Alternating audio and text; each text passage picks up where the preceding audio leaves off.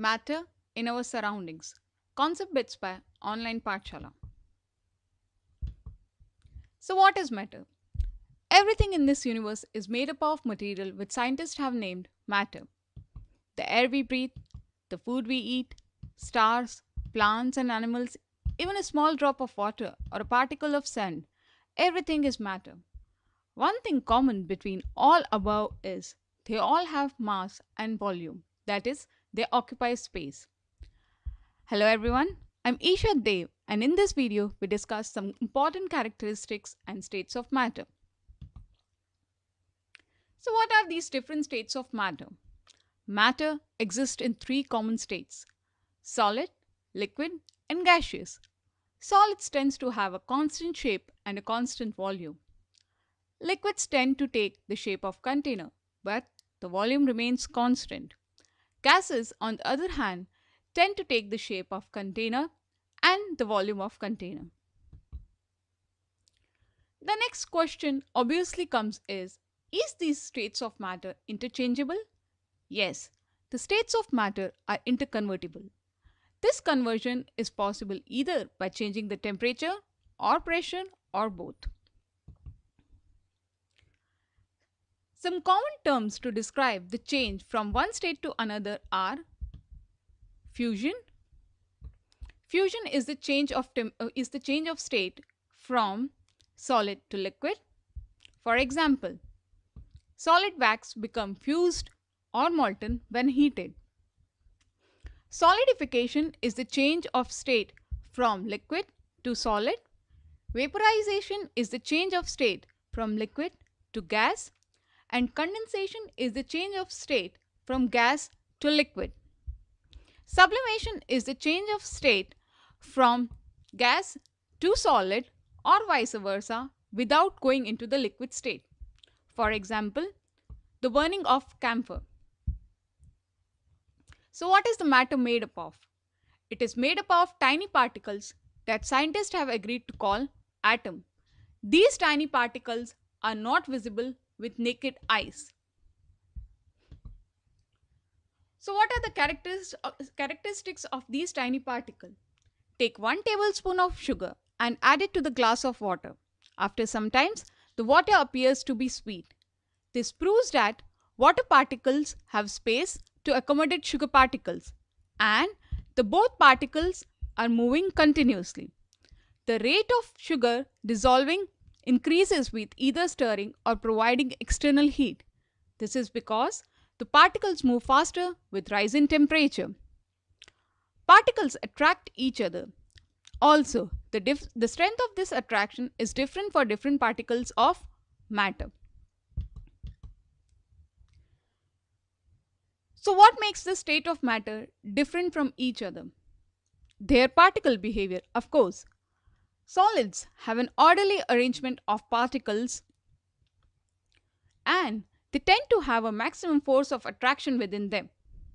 The space and kinetic energy is least and they change, they resist any force which try to change their shape or their volume. Liquid, on the other hand, have particles which slips and slides over each other. They have an intermediate force of attraction between particles the space and kinetic energy between particles is medium. This behavior makes liquid to take the shape of container. In the gas gaseous state, there is no order. Particles move randomly. There exists minimum force of attraction between these particles. There exists a large space and maximum kinetic energy between the particles.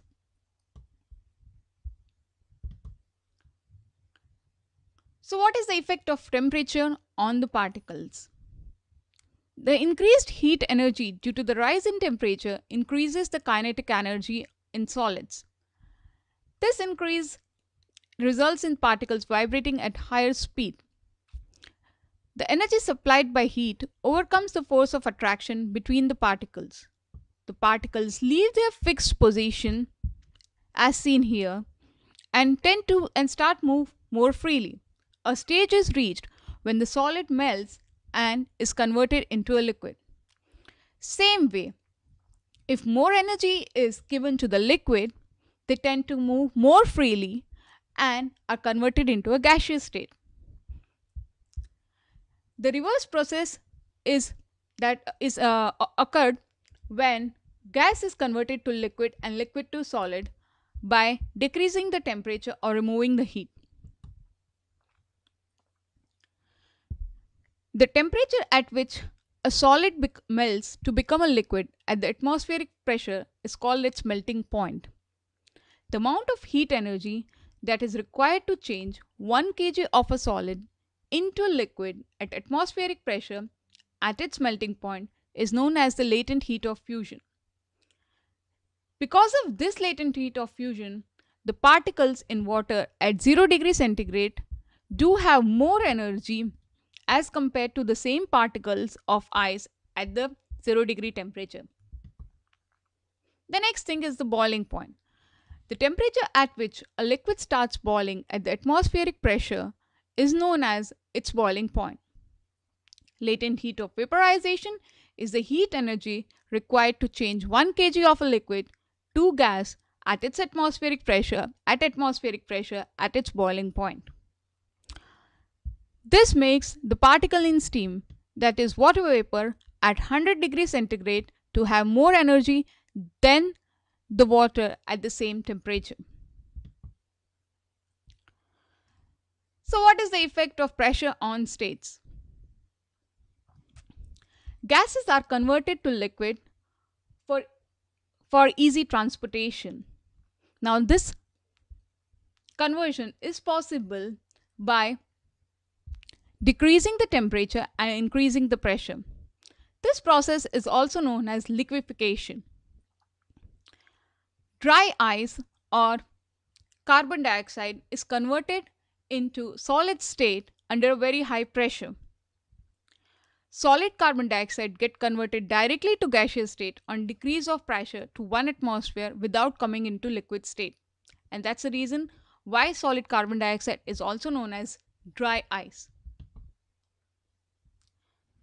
So what is the difference between boiling and an evaporation? Boiling is a bulk phenomena. Particles from whole of liquid, let's say liquid is some water is getting boiling. So particles from whole of liquid will change into, can change into a vapor state. On the other hand, evaporation is a surface phenomena. Particles from surface only gain energy to convert into a vapor state.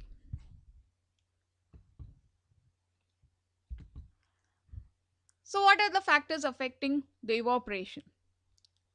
The factors affecting the evaporations are the first one, an increase in the surface area. We already talked about that evaporation is a surface phenomena. If the surface area is increased, the rate of evaporation increases. For example, while putting clothes for drying up, we spread them out. An increase in temperature. With the increase in temperature, more number of particles get enough kinetic energy to go into the vapor state. Therefore, an increase in temperature would increase the rate of evaporation. The decrease in humidity. Humidity is an amount of water present in air. The air around us cannot hold more than an infinite amount of water vapor at a given temperature.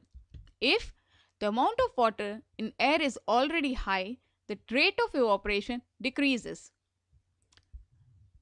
an increase in wind speed. It is common observation that clothes dry faster on a windy day.